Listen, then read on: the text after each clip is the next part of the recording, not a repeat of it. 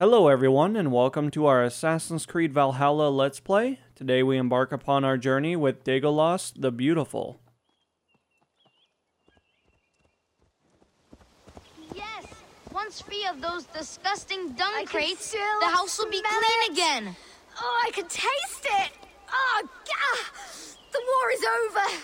This must change! Hey, child. Your home is cursed with shit. I wish I could laugh, but uh, I cannot. Yes, that rank odor is from the devil. The devil who produced me with this prick. Oh, that smell. He dips his arrows in cow dung and never washes. Says it brings him luck. We're doomed to choke in father's shithouse. The cow dung he keeps is in those crates. It has mutated into the most unholy of pungent monsters. Oh, oh. Well, don't worry, small child, we'll save the day. Like a trap. Actually get in here as quick as possible. As you guys can see, this ranky ass smell is actually doing a lot of damage to us, so obviously we're going to have to be pretty careful.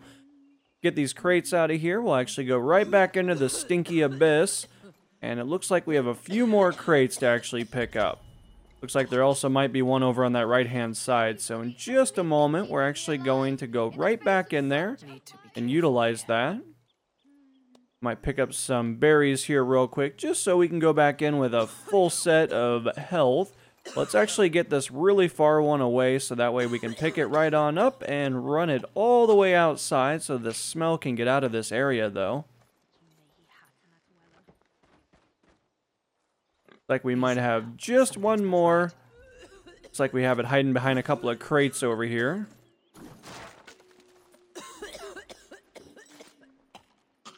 We'll be able to get out of here in just a moment, and there we are. Wonderful! The house is habitable again! The stink from those crates is gone. But in my experience, if you do not cure the source, shit returns. My father, Degolas. He's a famous archer, but he never washes. Never. I'm going to confront him. That pox. Mother, I'm going to get father back. I've had enough. Change is in the air. Literally.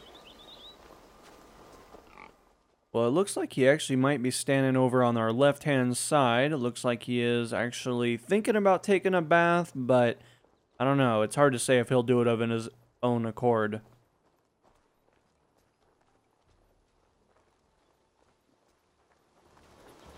Father, the war is over. Our home is clean. You can stop sinking up the earth. Take a bath. Well, it's not my fault. My filth is useful. My arrows are more deadly, covered in shit.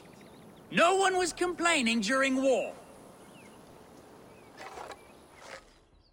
Looks like he's not going to do it of his own accord, so we'll do it for him.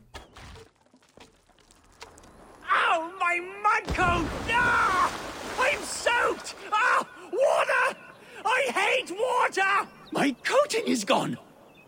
My layer of sacred warrior shit has run off. Mother, you won't believe it. Father has been cleansed. We can live without the toxic clouds he once produced.